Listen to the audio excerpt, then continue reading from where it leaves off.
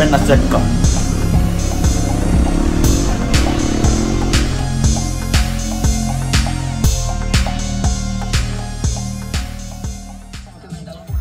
Morjens ja mukavaa lauantai-aamua. Tai video kun kattelette niin lauantai-iltaa. Mutta nyt mennään lauantai-aamuun tässä.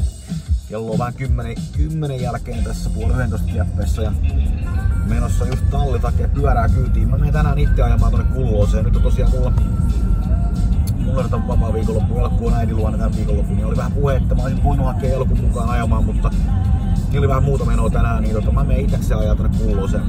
Öö, paris edellisessä videossa on maininnutkin jo, että on ollut vähän kipeänä, mulla on edelleenkin ääni maassa, niin kuin huomaatte. Mulla oli tosi paha oireet päällä, kun mä sain maanantaina koronarokotteen, niin siitä pari päivää eteenpäin, niin tuli tosi pahat oireet. Ja, ja tota, vähän arvoin vieläkin, että uskaltaako tänään lähteä ajaa, kun kipeänä ei pitäisi hirveästi urheilla, mutta, mutta tota, ei malta olla kotona.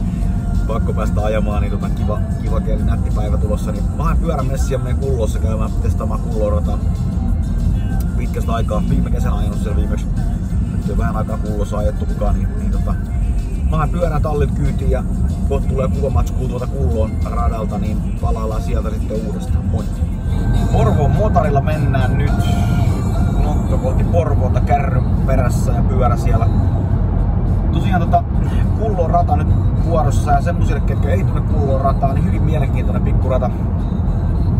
Öö, kiva ajaa silloin tällöin käydä vähän treenaamassa, hyvää treeniä, täysin erilaista mitä, mitä yleensä ajetaan. Että tota, jos vertaa vaikka tuohon Lavankoon, niin, niin tää on ihan päinvastainen. Lavanko on ensinnäkin ihan tekemällä tehty rata, se on tehty tasaiselle aikanaan sinne lentokentän päätyy. Väkisin ajettu hiekkaa ja muokattu kaikki muodot, sinne on rakennettu kaikki hyppyrit ja korkeusarvot ja muut kun taas tämä Kullon rata on, on mielenkiintoinen. Se on ihan tuommoinen kuin luonnonhelmas menee sen mettän keskelle. Siinä on oikeastaan kaikki muodot noudattelee niin luonnon oikeita muotoja. Siellä on korkeuseroa paljon.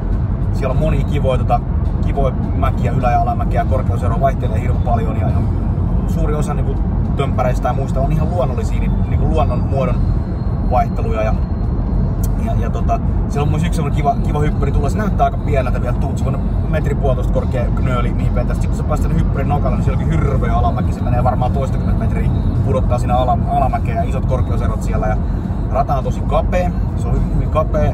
Aika lyhkäinenkin rata ja tosiaan kapea. Ja tiukkaa mutkaa mutkan perään. Siellä on semmoista, missä joutuu tosiaan niin kuin, jos taas Sipo on semmonen, mikä vedetään tuolla Nelarilla kolmosella koko rata läpi, että sun ei tarvi hitaaskaan mutkis pudottaa pienemmälle. Tosi joutuu käyttää kyllä hyvin paljon kakkosta käymään. Siellä on jyrkkiä tiukkoja mutkia, se on välillä semmoista oikein puunkiertoa, se on melkein kuin Enro ajaisi. Että, että tota, se, ja tosiaan kun se menee sen mettän kesken, niin siellä on muutamissa kohdissa rata on tosi kapea. Niistä kapeimmissa kohdista se vastaa melkein samaa kuin joku vähän leveämpi enska, enskareitti. Että se on tota, tosiaan siellä mettän siimäksessä mennään. Ja siellä on muutamia mutkia. Mä selostan tuossa vaikka, vaikka, ekalla kierroksella siis vähän, niin, niin tota, siinä kun lähdetään varikolta, niin siihen kääntyy semmoinen vähän pidempi oikein, niin se, se mennään tavallaan ihan sokkona, se jatkuu ja jatkuu niin pimeänä. Siinä on puita ja pensaita siinä niin oikeassa reunassa, sä et näe sinne mutkan eteen, miten se on tulossa vastaan. Pitää vaan muistaa ja tietää, mihin se kääntyy. Se oli muistaakseni sillä, että se kääntyy pitkälti sinne oikealle ja sitten lähtee pieni, pieni nousu ja lähdetään sinne oikeastaan ainulle suorapätkälle. Hypätään sinne vähän niin kuin suoralla. Ihan kivaa, kivaa reittiä. Niin tota. Sinne tässä matkalla ja käydään kohta kattelee vähän näette, että minkä näköinen se kullon rata on. Mä pyöräytän siellä muutaman kierroksen, niin katsotaan vähän, vähän miltä kullon rata tällä hetkellä näyttää.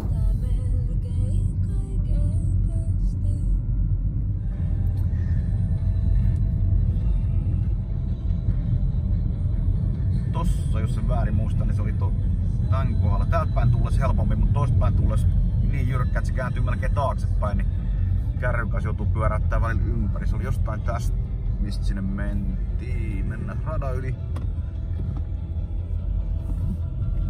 Se on tuo, hetkinen, ei se toi ollut vielä kuin seuraava.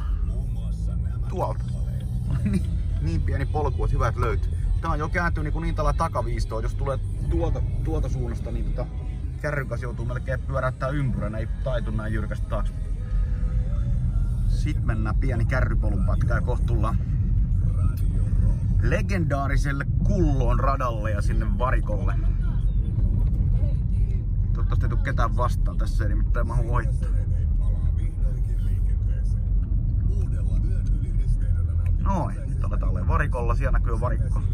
Tää taitaa olla tyhjä, eli ketään muita ajamassa. Pääseekö he yksinään vetä?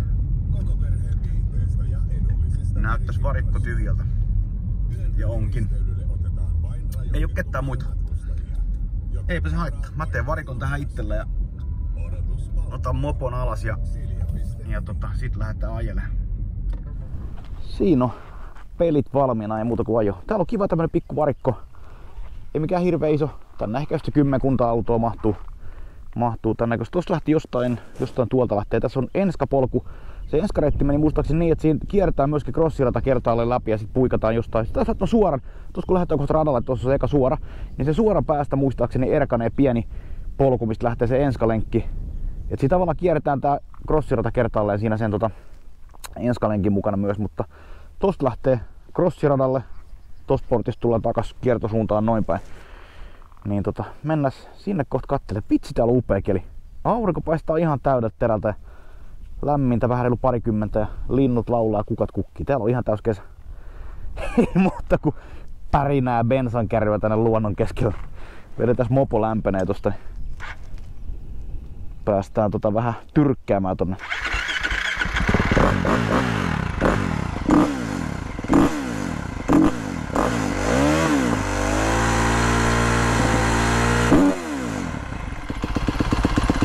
Tässä on nyt pyörässä taas ne tota, samat säädöt, mitkä mä vedin Sipooseen, eli aika kovat keulan komppi 14, takana 15. Tähän mä veikkaan, että tää on niin hidasta ja pientä, että mä tuun kohta käymään varikolmaa tän napsun verran pehmeämmällä. Mut kokeillaan aika tuolla. Tää on nyt semmonen aika, aika hyvä perussäätö. Sipoos oli niin kiva ajaa, ajaa täällä, niin tota, mielenkiintoista kokeile, mutta kyllä mä luulen, että mä vähän nää pienemmillä radoilla, kun on kevyempää, pienempää pyöritystä ja hitaampaa, niin tota, vedän silloin napsun verran pehmeämmästä, niin se ihan, ihan tota, paukuta käsille niin kovaa kaikista jarrupateista. Mutta toisaalta täältä on muutamia semmosia hyppyjä, missä saa vähän niin sanotusti ilmaa alle, että sieltä tullaan kyllä alas sitten vähän vauhdilla, niin toisaalta niissä jäykempi vaimennus on taas sitten kiva, niin ottaa paremmin vastaan. Mutta tota, löpinät sikseen. Käydään vetää lämmittelykierros, tutustuu rataan ja katsoo miltä näyttää. Niin mä oon tosiaan itsekin vuosi sitten viime kesänä ajanut, niin käydään katsoa miltä rata näyttää nyt. Sitten mennään.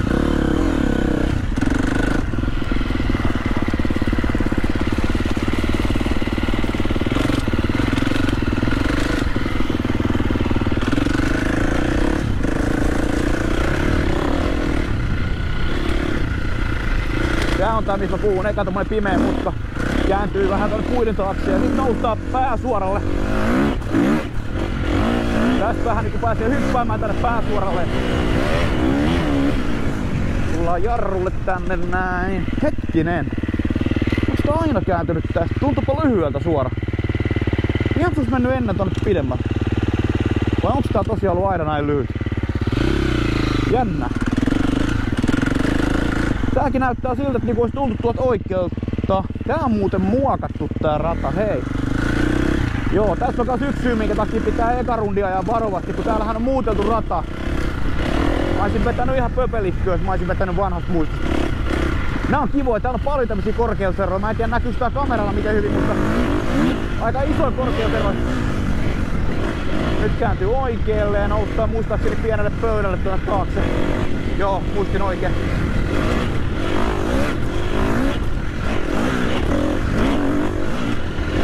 Mä hyppäsin vanhalla pyörän linkku, hyppäsin ja tuli mutka alle, mä sain ilmas käännettyä just sen poikittain. Mä tulin ihan poikittain alas, mutta onneksi sain kääntyä.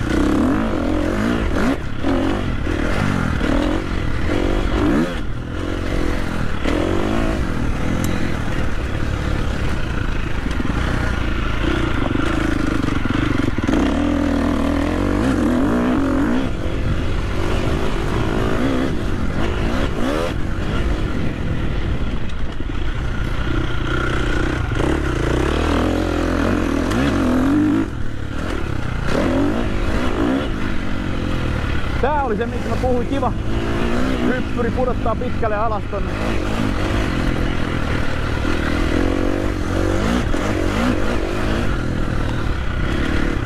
Huops, tuli hyttynen suora linssi.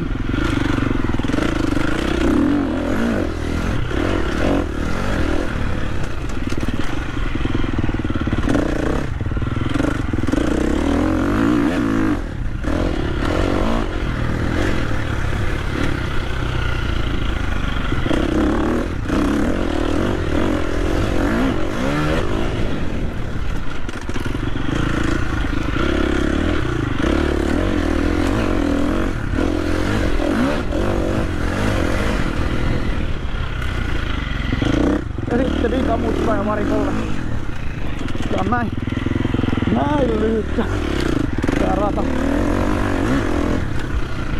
Mä ottaa napsu pehmeämmälle, tätä on aika, aika kova tää.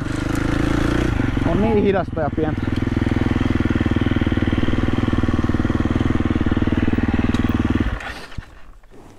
Tosta napsu keulaa auki, se oli siinä. Otetaan tuot ruuvari. Ruuvari ja myöskin perää. Perää napsun verran pehmeä. Tuo niin pientä. Pientä ja hidasta ja lyhyttä. Että eihän siellä iskarit käy kuin puolessa välissä käy. Hyvin voidaan löysää tuolta. Noin. Molemmat päät napsun verran pehmeämmällä. Pien vesiherppu, jos toinen kierros.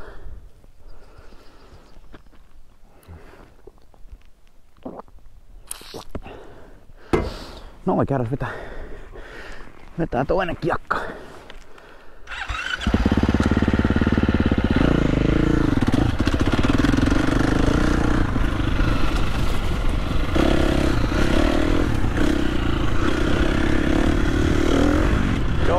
Joo, nyt on vähän kivampi kuin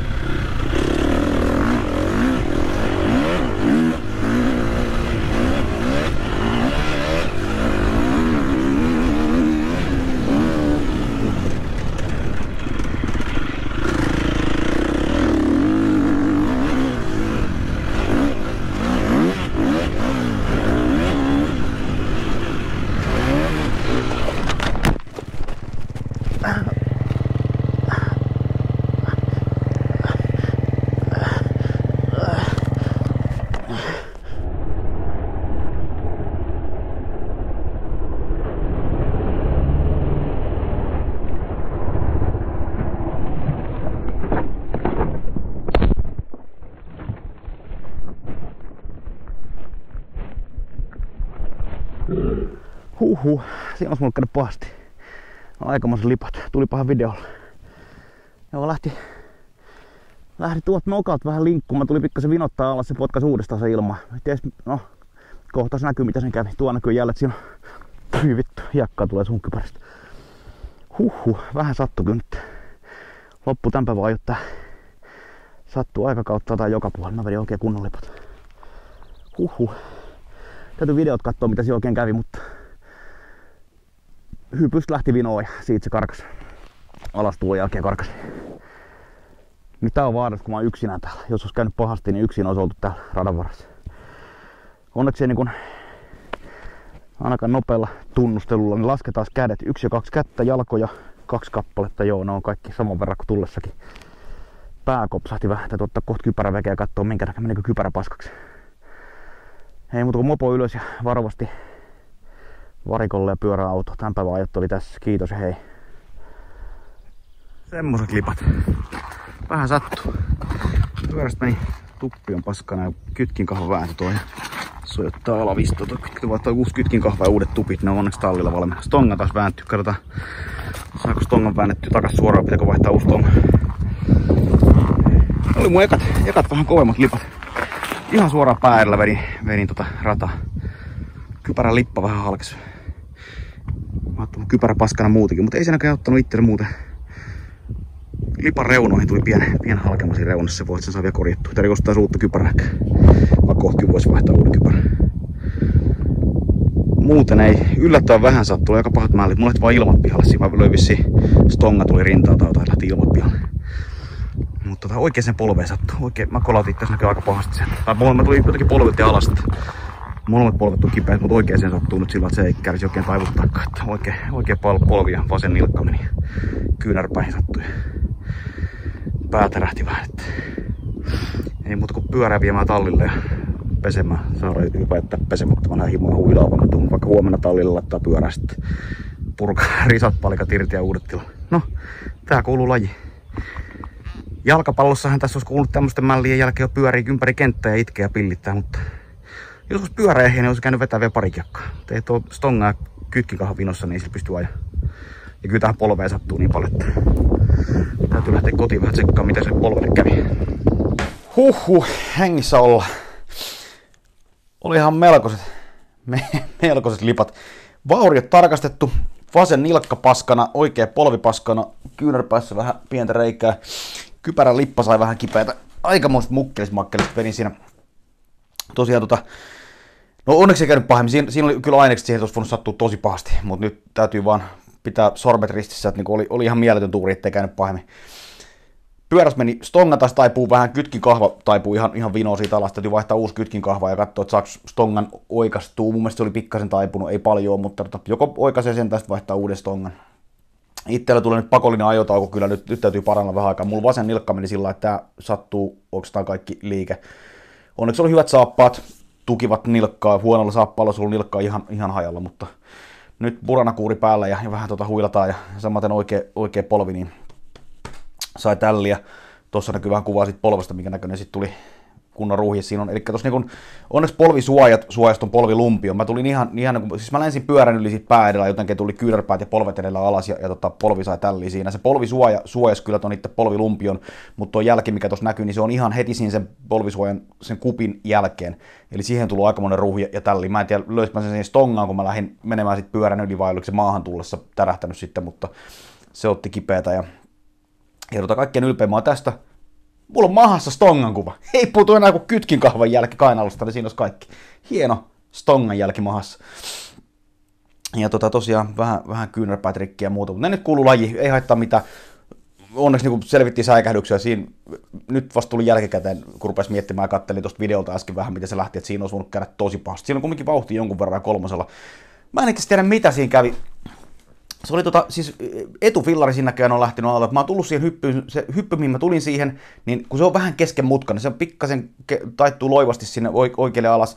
Ja mä oon ajanut kymmeniä kertoa sen mutkan samalla tavalla. Mä ilmeisesti, tai lähinkin vähän kallistamaan siinä. Ennen sitä hyppyriä ei ollut tarkoitus vetää mitenkään älyttömästi linkkuun, mutta sillä että jos se pyörä lähtee ilmas vähän kääntymään, niin se ei haittaa, koska se mutka taittuu heti sinne loivasti oikealle alas, siinä hyppyri alastulossa.